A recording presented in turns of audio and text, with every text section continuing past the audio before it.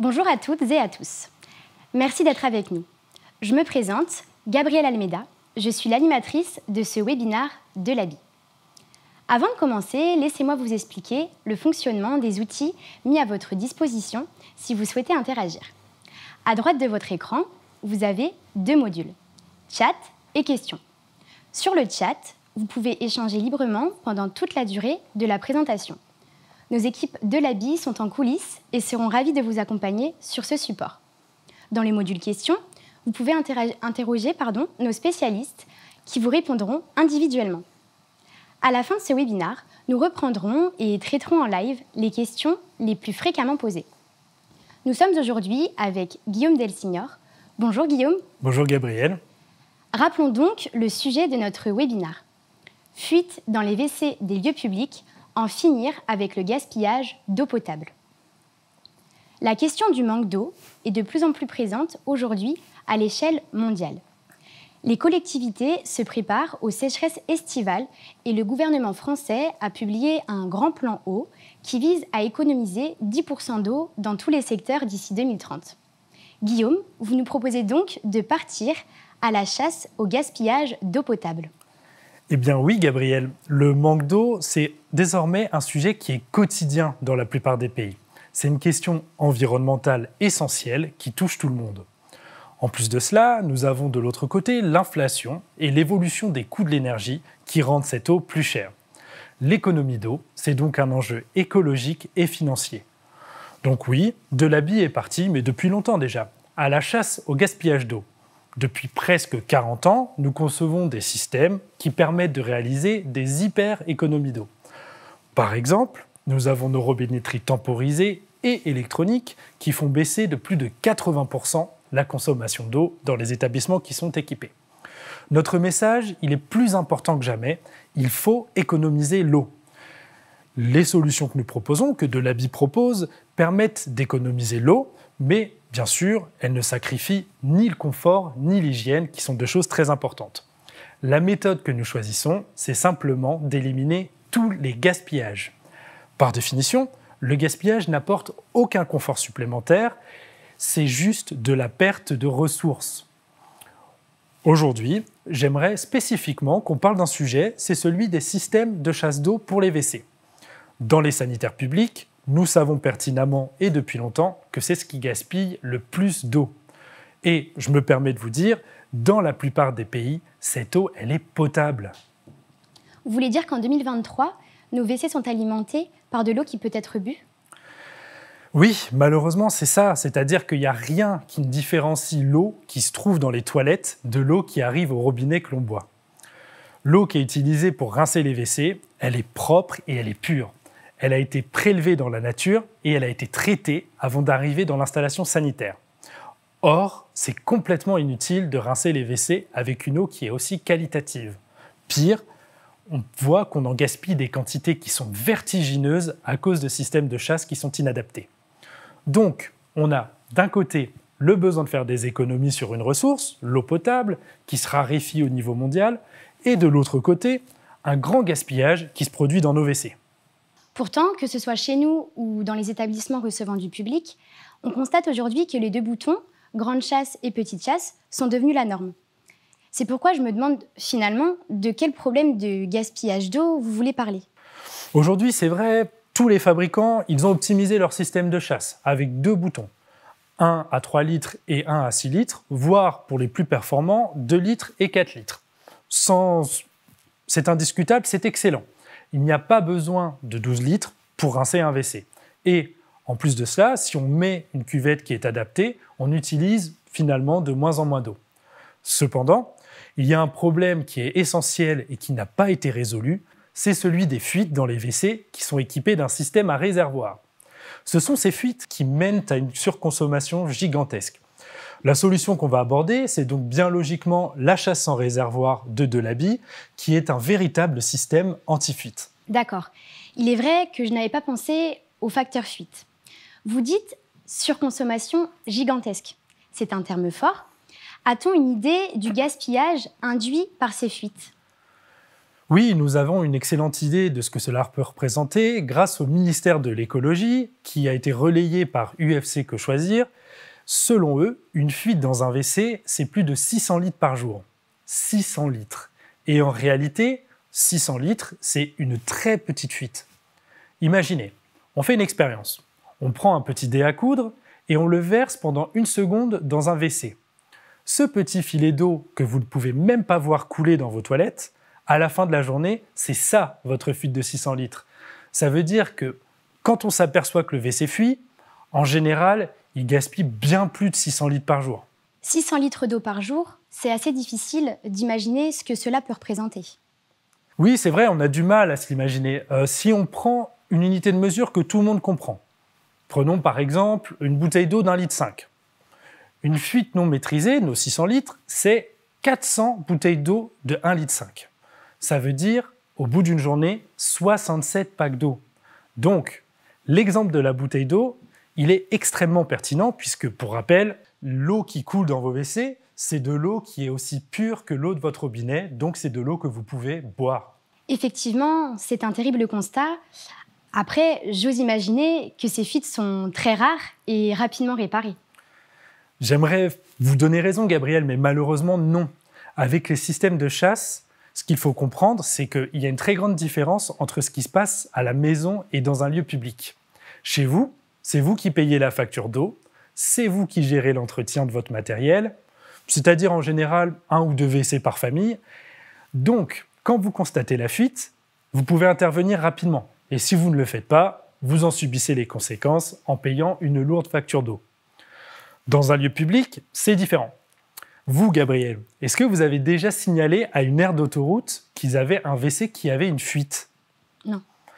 Dans un aéroport, pensez-vous que les passagers signalent Sait-on où signaler une fuite finalement? Et dans les écoles, est-ce que les élèves signalent les fuites? Comme je l'ai dit juste avant, finalement, beaucoup de fuites ne sont même pas visibles. Et quand elles le sont, elles sont rarement signalées. Enfin, elles touchent généralement plusieurs WC à la fois, on comprend donc ce dont on parle, c'est que les consommations dérapent très très facilement. Pour avoir une idée du problème, il suffit de regarder attentivement les WC que l'on fréquente en dehors de chez soi, vous jetez un œil et vous voyez des fuites absolument partout. Pour les fuites invisibles, je vous invite même à faire cette expérience, vous prenez une petite feuille de papier toilette, vous le mettez en haut de la cuvette, et s'il devient humide, c'est que votre WC est en train de fuir.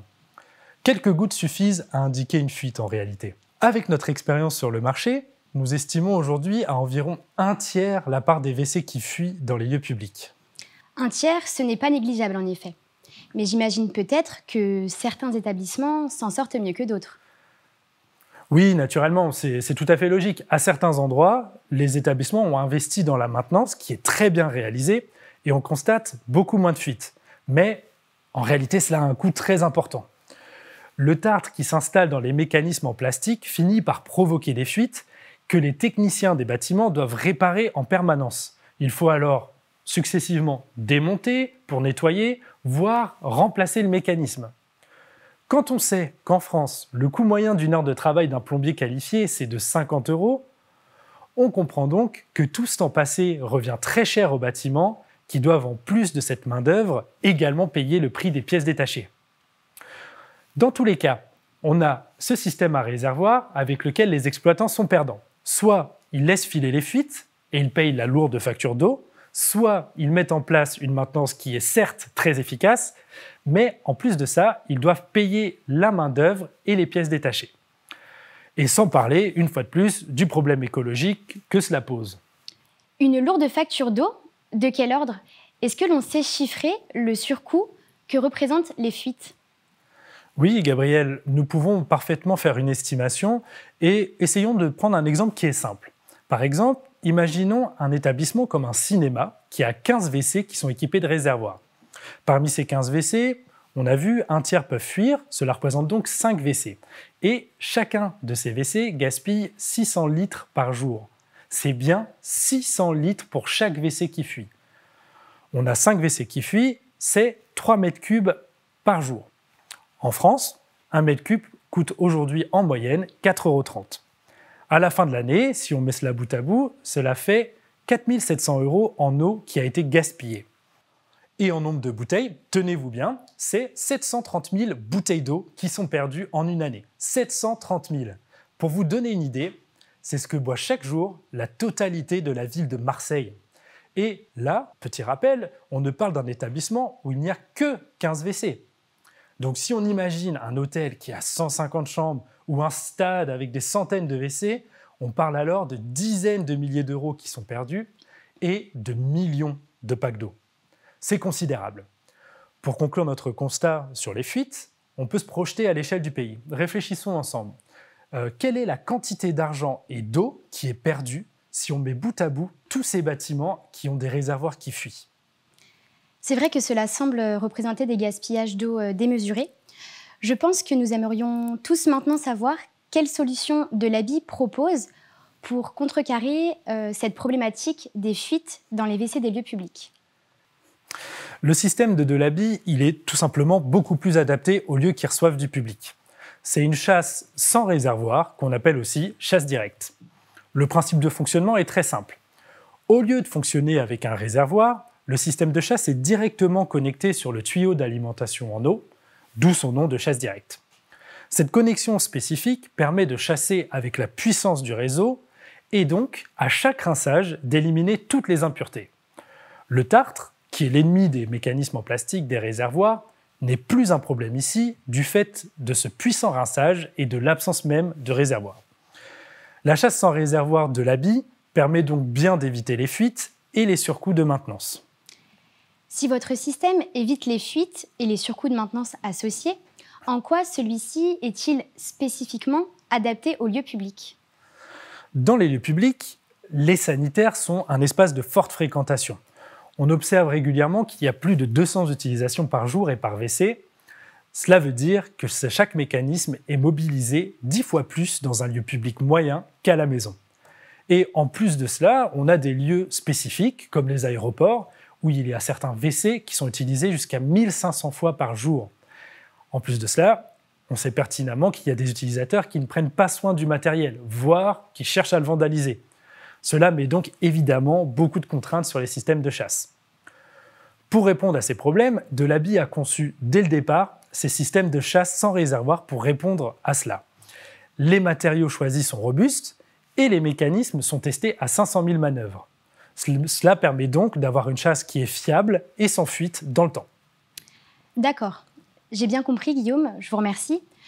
Je me permets de revenir sur euh, vos mots. Vous avez donc évoqué la chasse de l'habit comme étant fiable et sans fuite dans le temps. Est-ce que cela signifie que les systèmes de chasse de l'habit ne fuient jamais? Alors, lorsqu'ils arrivent en fin de vie, bien sûr, il arrive que les mécanismes finissent par fuir. Mais je confirme, la chasse sans réservoir de Delaby, c'est un système anti-fuite pour plusieurs raisons. D'abord, par la durée de vie un mécanisme de chasse de l'habit peut fonctionner parfaitement pendant des années, même avec une utilisation très intensive, là où un réservoir présentera des fuites au bout de quelques mois. C'est inéluctable. La chasse sans réservoir, elle est aussi anti-fuite grâce à sa facilité de maintenance. Les mécanismes des WC suspendus qu'on voit partout aujourd'hui sont très difficiles d'accès. Que ce soit par l'avant ou par le haut, il faut prévoir un long moment pour y accéder. Les espaces sont en général extrêmement réduits et le démontage se fait à l'aveugle dans une position inconfortable. A l'inverse, tous les systèmes de l'habit sont accessibles par l'avant. Pour remplacer le mécanisme, il suffit de dévisser la cartouche et de la remplacer.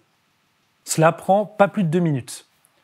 Et pour améliorer encore cette démarche, les pièces détachées des produits de l'habit sont disponibles, généralement pendant plusieurs décennies, à un prix qui est raisonnable et en plus avec l'accès à des techniciens dédiés qui sont joignables pour aider les installateurs en cas de doute ou de difficulté. Donc en plus de proposer un système de chasse qui parvient à économiser de l'eau par sa fiabilité, la solution de l'habit est plus facile à entretenir. Oui, très exactement. C'est de ça dont on parle. C'est aussi un très bon calcul pour les exploitants.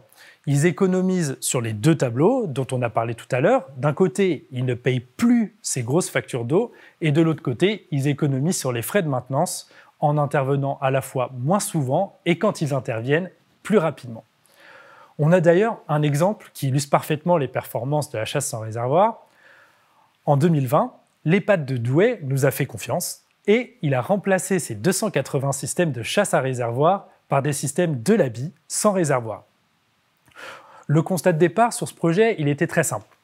L'EHPAD, il ne parvenait plus à respecter ses objectifs de consommation d'eau, avec pour conséquence un budget qui était en dérapage.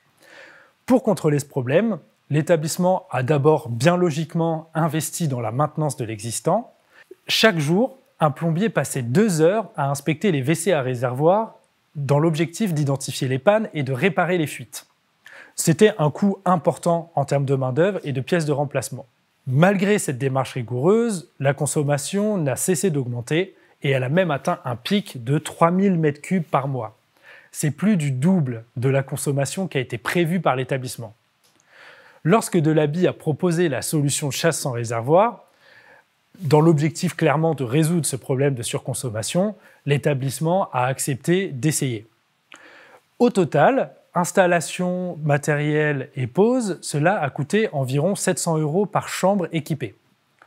Le résultat a été immédiat et presque incroyable. De 3000 m3 par mois, la consommation est passée à moins de 500 m3.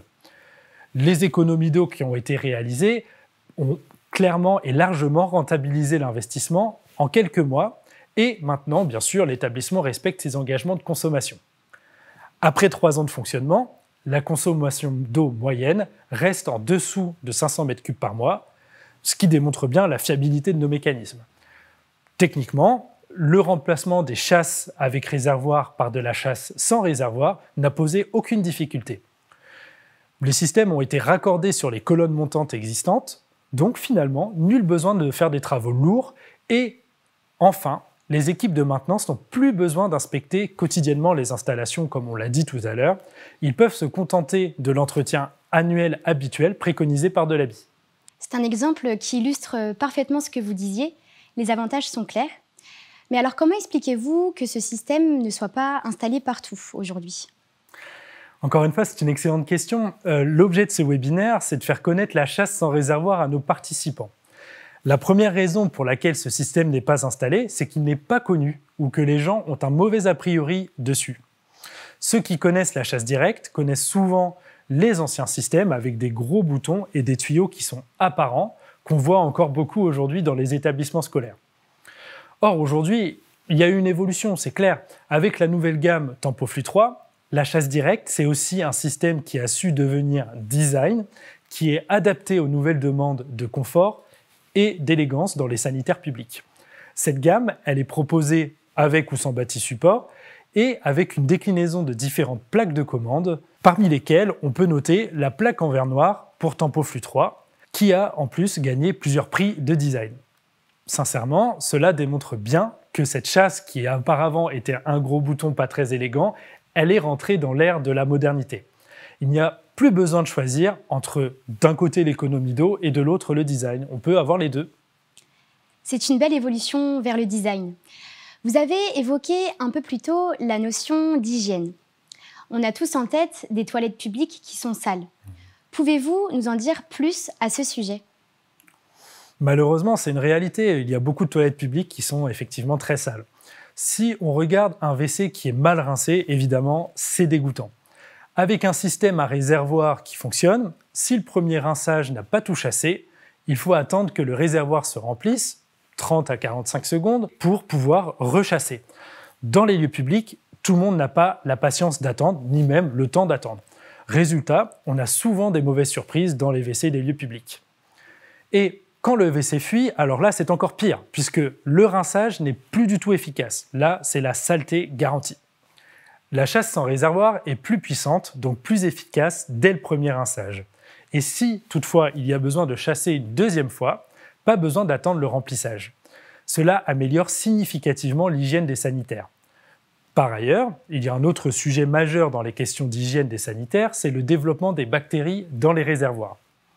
Un réservoir d'eau, c'est environ 9 litres en moyenne d'eau en stagnation. Imaginez, on prend l'exemple d'un établissement scolaire qui est fermé l'été. Vous avez donc ces réservoirs de 9 litres dans lesquels l'eau stagne et en plus à une saison où les températures sont élevées. C'est un véritable bouillon de culture pour le développement des bactéries telles que la légionnelle.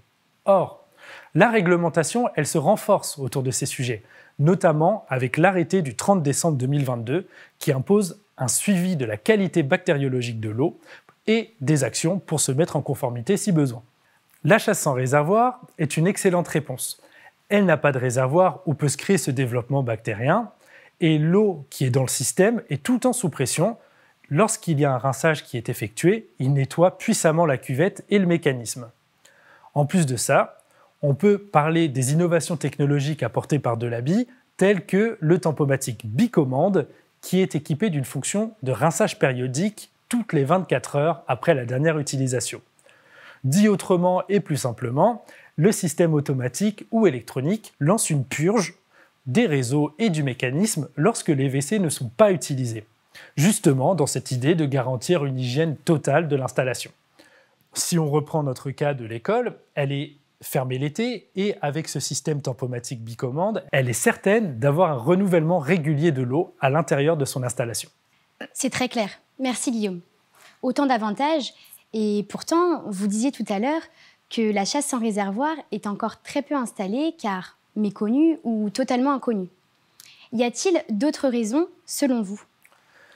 Oui, c'est exact, malheureusement. C'est-à-dire que, selon moi, une des raisons majeures qui oriente le choix de nos prescripteurs, c'est une grande force qui s'appelle l'habitude. Le système à réservoir, c'est un système qui est connu de tous et qui est posé au quotidien par les installateurs. C'est le même système que l'on trouve à la maison, donc il nous est extrêmement familier. Mais tout le monde a déjà eu des fuites chez lui, et c'est la difficulté que cela peut être de devoir remplacer des pièces. C'est pour ça que Delaby dit simplement mais clairement qu'il faut arrêter de poser de la chasse avec réservoir dans les lieux publics. Bien sûr, c'est cohérent. Et en termes de coût d'installation, vu qu'on se connecte directement à la canalisation, j'imagine qu'il y a un surcoût pour adapter les diamètres de tuyaux. Quel est le surcoût de l'installation de la chasse sans réservoir? Alors, ce dont vous parlez, Gabriel, il me semble, c'est euh, de la question du dimensionnement des canalisations pour accueillir des systèmes sans réservoir. Pour fonctionner parfaitement, les conditions techniques à remplir pour la chasse sans réservoir, c'est d'être alimenté par un tuyau de diamètre 20 intérieur et avec un débit d'un litre par seconde ou un bar dynamique de pression. Pour que tout le monde puisse comprendre, plus simplement, c'est que cela veut dire qu'à par rapport à un système classique, il faut brancher le système de chasse sans réservoir avec un tuyau qui est un peu plus gros. Nous avons donc finalement deux manières d'aborder ce sujet. Premièrement, soit on se dit ben, gaspiller de l'eau potable, c'est vraiment un scandale, et dans ces cas-là, on a la volonté d'investir, de mettre l'argent pour mettre ces tuyaux un peu plus gros à l'installation ou à la rénovation, ce qui permet d'éviter le gaspillage. Deuxièmement, on peut aussi se pencher sur les chiffres de ce que cela coûte réellement. Si on reprend le cas de l'EHPAD de Douai, ils ont investi au total 190 000 euros matériel et installation, incluant le dimensionnement des canalisations. Grâce aux économies d'eau qu'ils ont réalisées, ils ont amorti ce coût en quelques mois. Et pour rappel, dans ce calcul, on ne prend absolument pas en compte le temps qu'ils passaient à faire de la maintenance, ni le coût des pièces qu'ils devaient remplacer. Nous avons demandé à plusieurs bureaux d'études techniques quel était le surcoût du dimensionnement en général pour installer de la chaise directe. La réponse, c'est que dans beaucoup de cas, c'est proche de zéro et que cela peut monter jusqu'à 3% de l'enveloppe plomberie. C'est rentabilisé en quelques mois. D'ailleurs, pour couvrir ces sujets plus techniques, nous ferons un deuxième webinaire au cours duquel nous répondrons aux interrogations plus pointues que vous pouvez avoir. Effectivement, c'est négligeable comme investissement, surtout quand on sait que c'est si vite rentabilisé.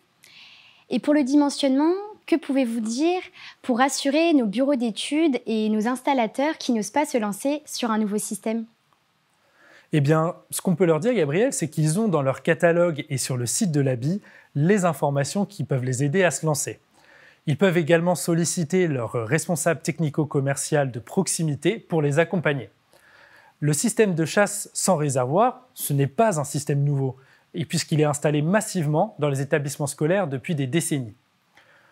Pour beaucoup de BE et d'installateurs, il s'agit en réalité davantage d'une simple mise à jour de leurs connaissances qu'une découverte on peut se dire que vu les enjeux économiques et écologiques autour de l'eau potable, ça vaut le coup de s'y pencher et c'est une vraie valeur ajoutée pour l'avenir de pouvoir proposer ce système. Quand on voit toutes les économies d'eau possibles grâce à la chasse sans réservoir de l'habit, je suis d'accord avec vous, il ne faut plus hésiter. Eh bien, nous arrivons maintenant au terme de notre échange. Pourriez-vous nous résumer en quelques mots les points essentiels à retenir, s'il vous plaît, Guillaume? Oui, bien sûr, avec plaisir. Alors, ce que j'aimerais absolument que nos participants retiennent, c'est qu'il faut arrêter de poser des systèmes de WC à réservoir dans les lieux publics. Et il faut, en parallèle, passer à un système adapté qui est la chasse sans réservoir de l'habit. C'est un système qui est simple à mettre en œuvre et qui nécessite un petit investissement qui est rentabilisé en quelques mois. Il économise un temps de maintenance qui est précieux et il permet en plus de cela aux lieux publics de proposer à leurs usagers des sanitaires qui sont plus hygiéniques et plus écologiques. On a vu que le plan eau du gouvernement demande de réaliser 10% d'économie d'eau d'ici 2030. Avec de l'habit, ce sont des hyper économies d'eau de 80% que vous pouvez réaliser dès aujourd'hui. C'est une mesure écologique qui est essentielle pour l'avenir. Merci Guillaume pour ce petit résumé clair et concis. Merci Gabriel. Merci à tous les participants pour votre attention et pour l'intérêt que vous avez porté à cette thématique. À très bientôt pour un prochain webinaire de l'habit.